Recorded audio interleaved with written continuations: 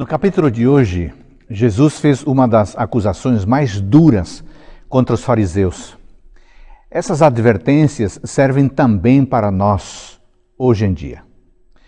Eles pregavam, mas não praticavam o que pregavam. Eles agiam somente para serem vistos e admirados pelos outros, mas não para agradar a Deus.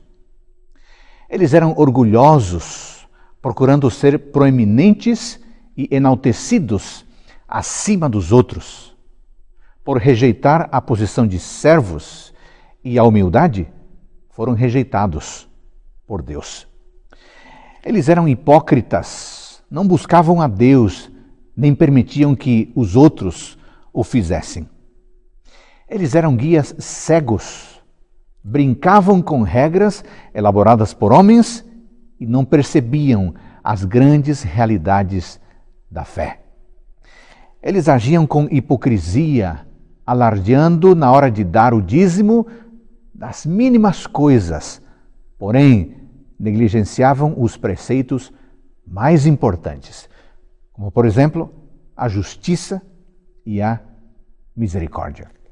Além disso, eram hipócritas, porque enfatizavam a aparência externa, enquanto que por dentro estavam cheios de ganância, cheios de orgulho.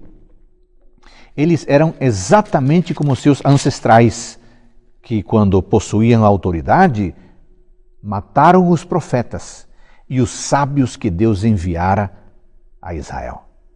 Agora, na geração deles, a rejeição a Jesus trazia sobre eles o sangue de culpa acumulada durante séculos.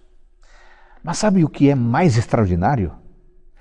A despeito das advertências, Jesus demonstra amor e compaixão pelos fariseus e pelas demais pessoas.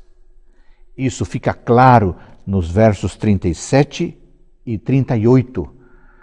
O amor de Deus se demonstra cabalmente quando, tendo razões para nos rejeitar, ele nos aceita e é capaz de nos perdoar. Que Deus maravilhoso! Que esse Deus abençoe você no dia de hoje.